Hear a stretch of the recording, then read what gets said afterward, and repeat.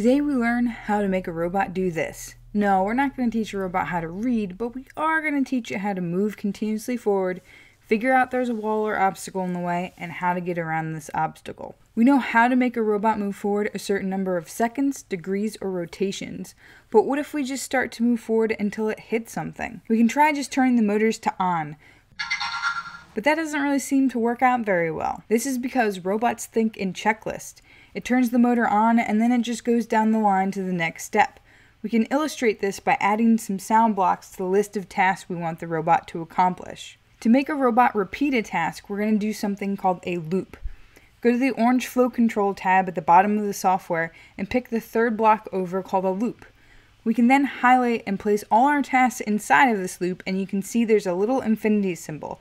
This means the robot's going to continue to do these tasks forever. Well, until you stop it or the battery runs out. And we can also give this loop a name. Robots see and interact with the world using sensors. Our robot can use a touch sensor to determine it has hit something. A touch sensor has three states pressed, released, and bumped. A limit switch is used in many machines and robots and is very similar to our touch sensor. When parts of a machine or a robot hit one of these switches, they know to stop moving. This avoids damage to people, machines, or products. If we go back to our loop and click on the infinity symbol, we see that there are a lot more options to pick from. These are all options for telling a robot how to exit the loop once a certain condition is met. We're going to pick the seventh one down. This is the touch sensor. When we hover over it, it will say state as our option, and we're going to click on this.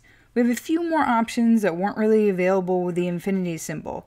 We get to pick the state that we want the touch sensor to be in when the robot exits the loop. 0 is released, 1 is pressed, and 2 is bumped. By default, it's set to pressed, which is the one that we want. As soon as the robot hits the wall and the button is pressed in, we want the robot to stop moving forward. The number 1 at the top tells the robot what port the touch sensor is plugged into. By default, this is set to 1, and we should keep it that way. If you change it, your program won't work when you send it to us. Now it just needs to move away from the wall, and if we put a motor reverse command outside of this loop, the robot's going to stop. We already know how to fix this issue. We need another loop, so you can put all of these steps inside an infinite loop.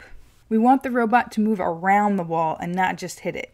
So we're going to change this motor block to back up to the left or back up to the right, and then go forward.